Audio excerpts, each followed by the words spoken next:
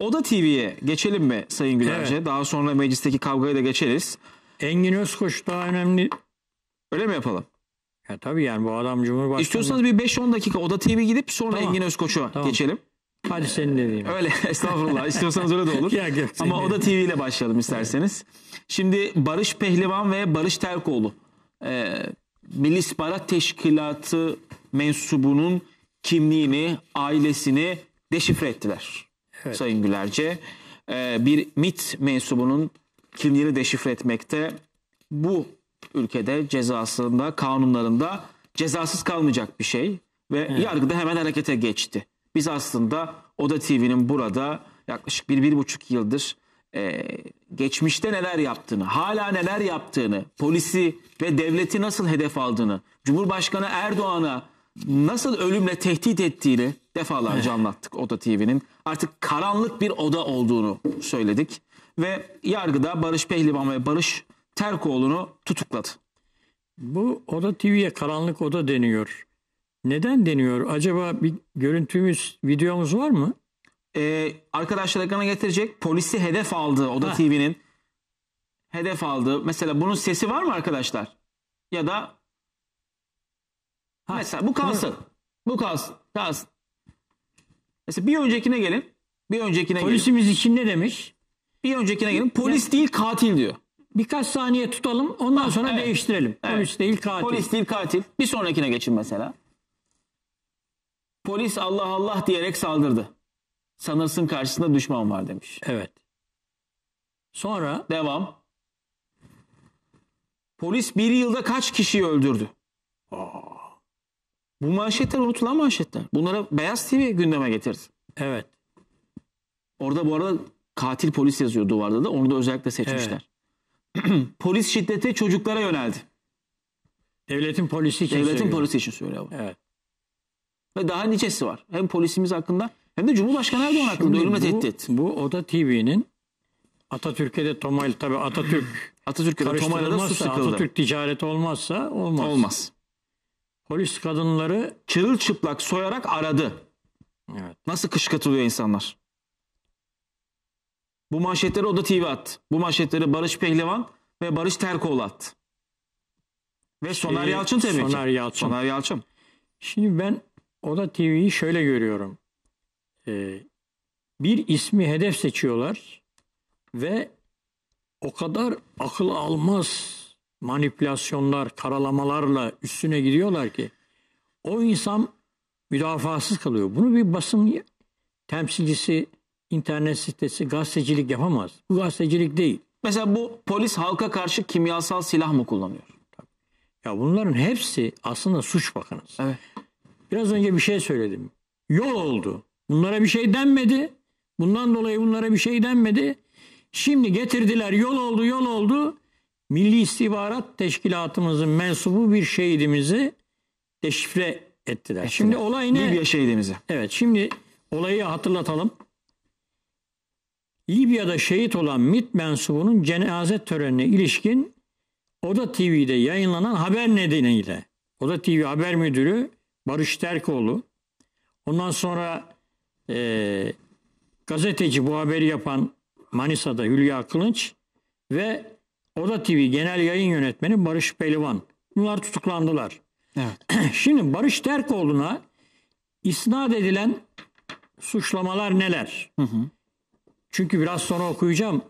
Türkiye'yi ayağa kaldırdılar Oda TV için. tabii, tabii, tabii. Meğerse bu Oda TV kimin kalesiymiş ya? Kimler kimler destek Ay, verdi? Ekrem say- İmamoğlu'ndan tutun Faik Öztürk'e kadar. herkes de destek verdi. Şimdi okuyacağım hepsini. Yani Türkiye Komünist Hareketi bile destek veriyor. Yani Oda TV bir internet haber sitesi diye görmemek lazım.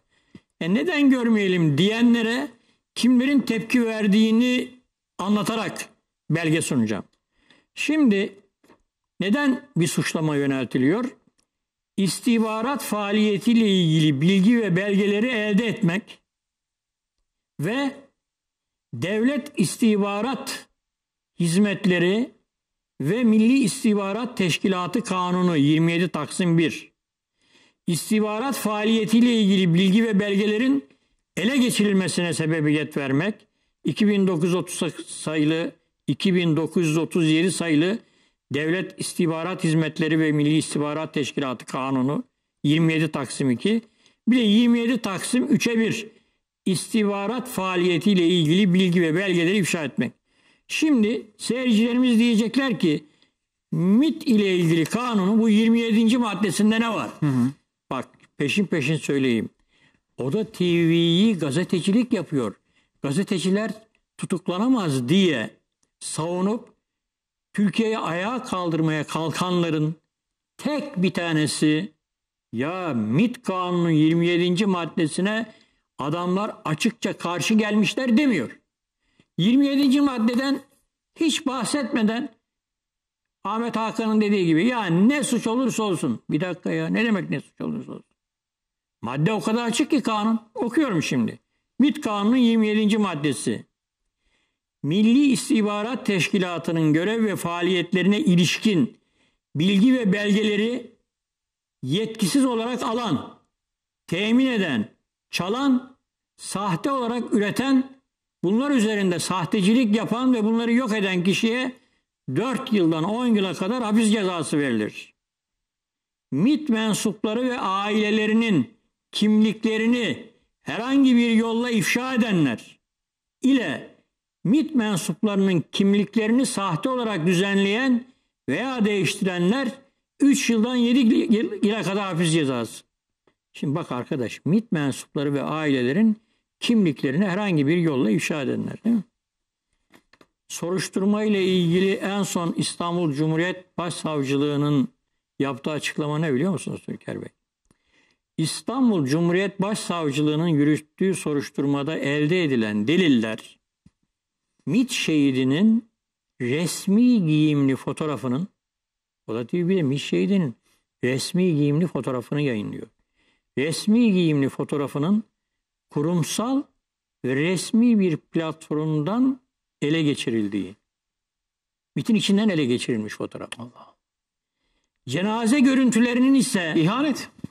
O cenaze görüntülerinin ise uzak bir mesafeden gizli olarak çekildiği belirlendi. Evet. Şimdi şehidin fotoğrafı, cenaze töreninin gizlice görüntülenmesi ve bu yolla kimliğinin, ailesinin deşifre edilmesinin bir plan dahilinde organize eylem olduğu tespit edildi.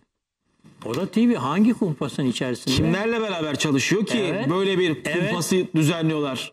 Şimdi kanunun açık hükümlerine rağmen bu ücreti nereden alıyorsun? Sen kime çalışıyorsun ya?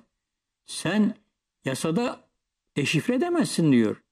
Şu, şu yıldan şu yıla kadar hapis cezası var diyor. Peki neden böyle bir şey yapıyorsun? Bunu Şimdi ne oldu mesela ya? zamanlamaya da bakmak lazım. Yani Suriye'de şehitlerimiz var. Evet. Suriye'de biz rejime karşı güvenliğimizi koruma adına bir göç dalgasını kırma adına şehitler vererek mücadele ediyoruz. Bu arada Türkiye'nin gözü kulağı milli bir kurumuna karşı internet sitesi adı altında gazetecilik maskesiyle kılıfıyla bu yapılıyor. MİT tırları ihaneti gibi değil mi?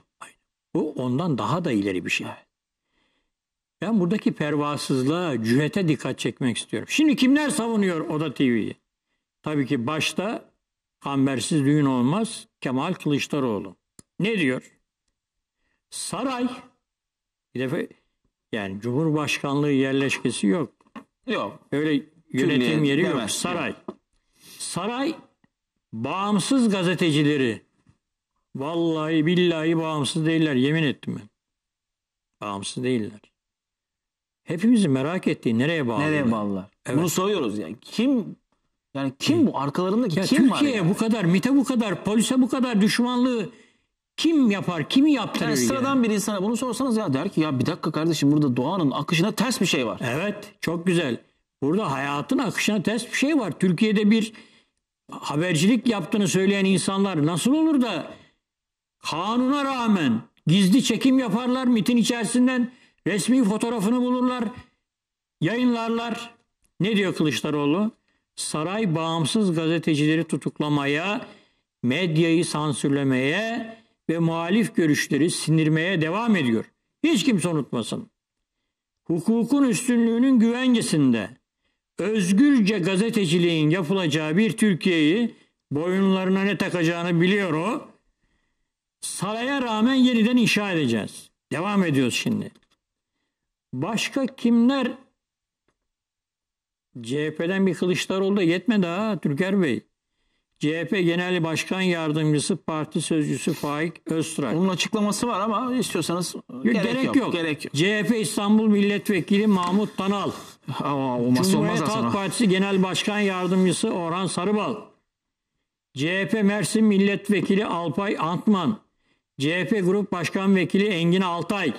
İstanbul Büyükşehir Belediye Başkanı Ekrem İmamoğlu. Ekrem İmamoğlu ne diyor? 2019'dan ders çıkartmayanlara İstanbul seçimlerini kastediyor.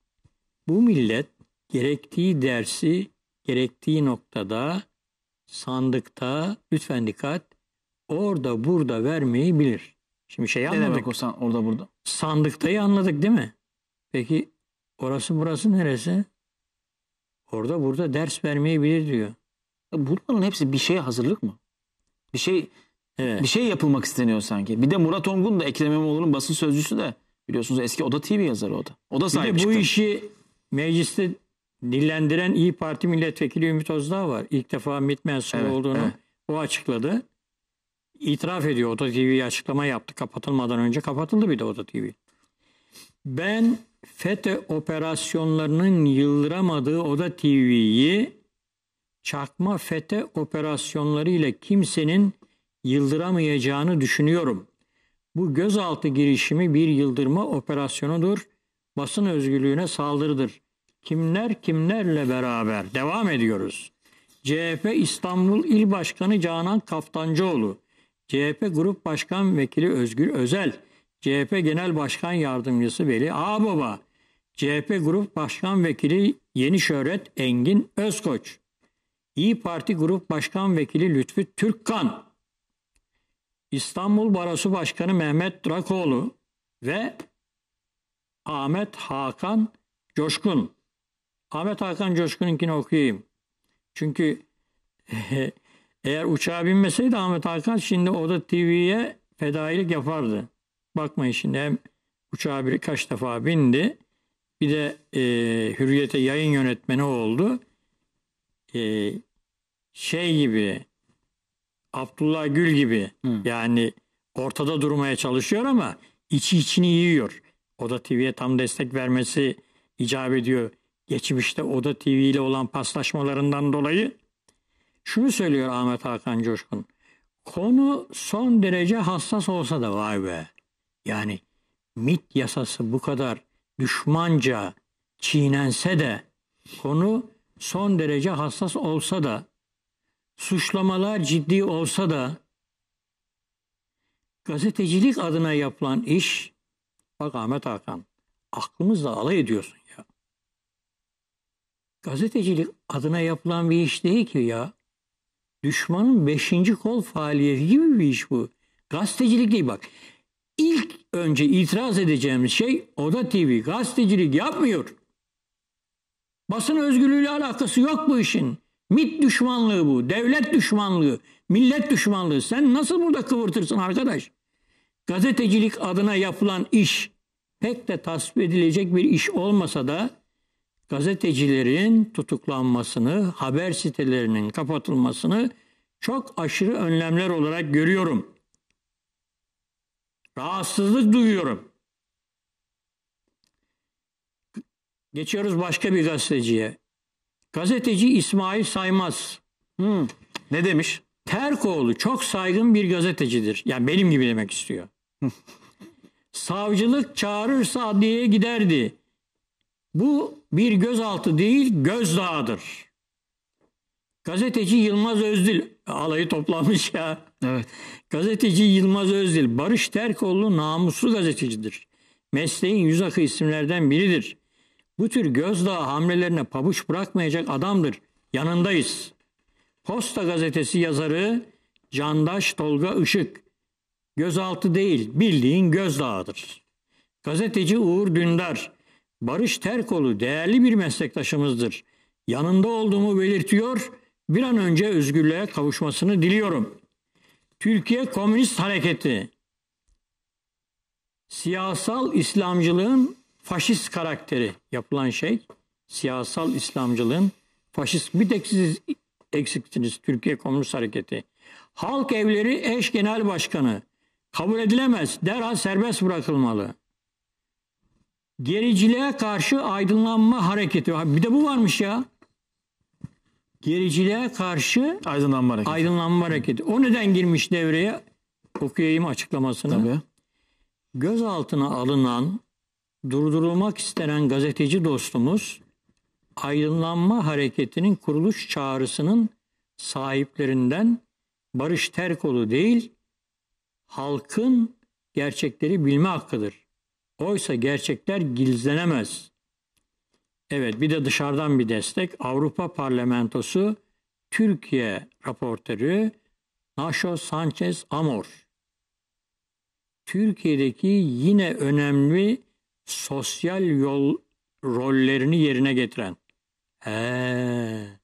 O da TV ne yapıyormuş? Kimler tarafından acaba Türkiye'deki da önemli sosyal rollerini yerine getiren gazetecilerin yargılanması konusunda endişeliyiz. Oda TV'nin bu yaptığı net milli güvenlik sorunudur. Yani bu yüzden de devletin burada harekete geçmesi e, çok normal bir şeydir. Normal olmayan şey Milli İstihbarat Teşkilatı mensubunun ailesinin kimliklerinin deşifre edilmesidir. Cenazesinin uzaktan gizli bir şekilde çekilmesidir. Kimler kimlerle çalışıyor? Bundan sonra yol olmasın arkadaş.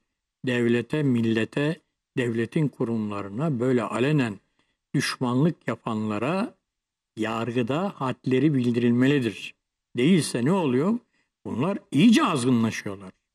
İyice üstümüze üstümüze geliyorlar. Cumhurbaşkanına hakaretten, MİT'e düşmanlıktan.